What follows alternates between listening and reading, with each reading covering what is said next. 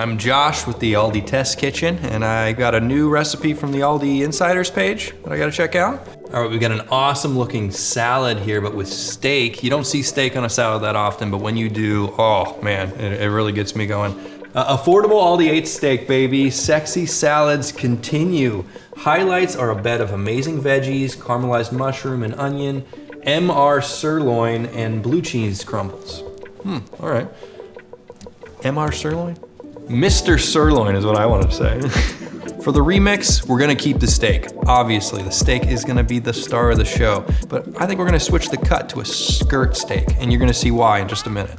For the cheese, I love blue cheese, but it's a little bit too tangy, a little bit too rich for this dish. I'm gonna go with a lighter cheese in feta. And then I'm gonna add some whipped cream cheese and honey, make it a little bit more sweet. All right, let's get started with the remix.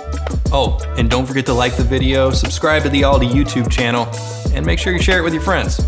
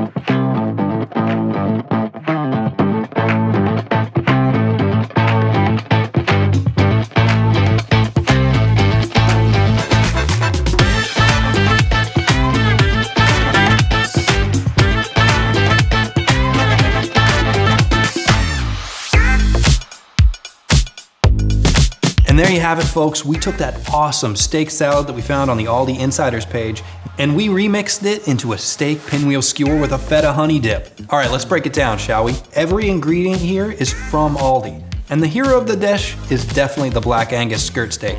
And we got that steak wrapped around some Emporium Selection feta cheese crumbles that makes it so much more creamy. And the creaminess of that feta whip dip takes this dish to a whole new level. All right, I gotta give this a taste, man.